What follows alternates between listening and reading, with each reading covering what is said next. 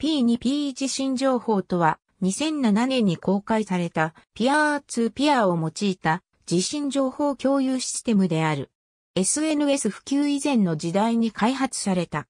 開発当時流行していた Winnie などと同じく P2P を用いて地震、津波情報を自動的に共有する。元になる地震情報は気象庁のサーバから取得し、それをノード間で共有する。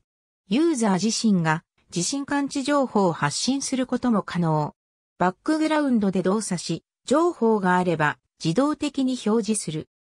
P2P の採用によりシステム障害は起きにくく、専用ネットワークでユーザーからの発信を受け取れる点で速報性もあるが、参加者数が1300人程度と少なく、災害情報を発信するツイッターアカウントなどが後に普及したため、システムとしての陳腐化は否めない状況にある。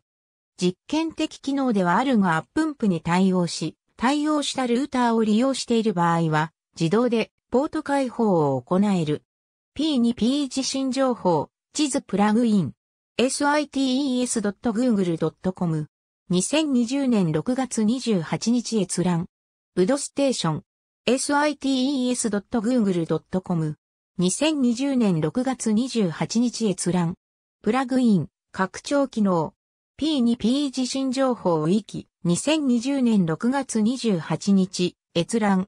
ありがとうございます。